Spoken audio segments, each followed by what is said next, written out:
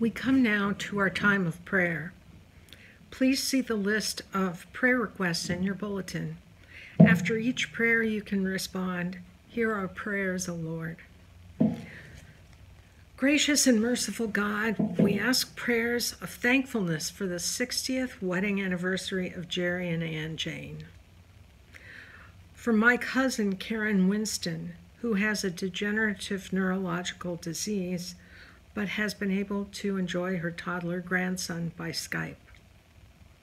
Prayers for the end of racial enmity. Prayers for the social workers on the front line who support and counsel those impacted by COVID 19 and help people access needed resources.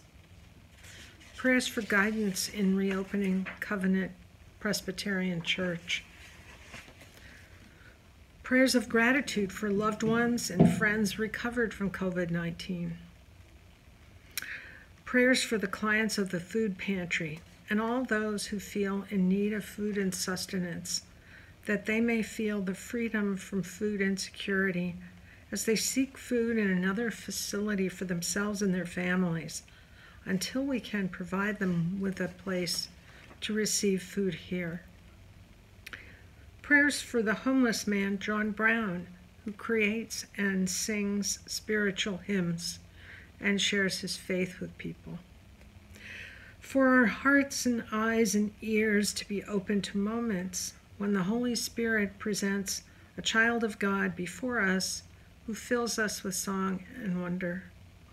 For our church in creating ways to emerge from the pandemic and welcome neighbors prayers for gratitude for everyone who is calling and checking on others during this time of sheltering in place. A grateful prayer for our session as they lead us. A special prayer of blessing for us all. Let us pray together. Gracious and loving God, we lift up these prayers to you in your mercy and your grace. We ask that you hear our prayers those spoken and those too deep to say. We ask that you accept all these prayers offered to your Son. In Jesus' name, and give us now the strength to wait patiently for your answer and to live faithfully in response to your call. Through Christ our Lord. Amen. The Disciples' Prayer. In his Sermon on the Mountainside overlooking the Sea of Galilee, Jesus instructed his followers Whenever you pray, go into your room and shut the door and pray to your Father who is in secret, and your Father who sees in secret will reward you. And so let us join together in saying the prayer that he taught his disciples.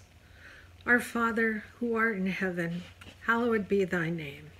Thy kingdom come, thy will be done, on earth as it is in heaven.